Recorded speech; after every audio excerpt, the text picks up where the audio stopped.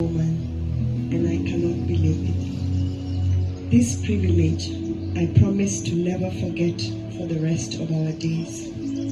Without reservation, I promise to love you without condition, to honor you each and every day, to laugh with you when you are happy, to support you when you are sad, to guide you when you ask for direction, to challenge you to, to be a better person, and allow you to do the same for me, your biggest fan and your ever present listening audience.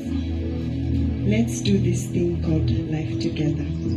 With our God by our side, victory is guaranteed. I love you, my G. Thanks for coming.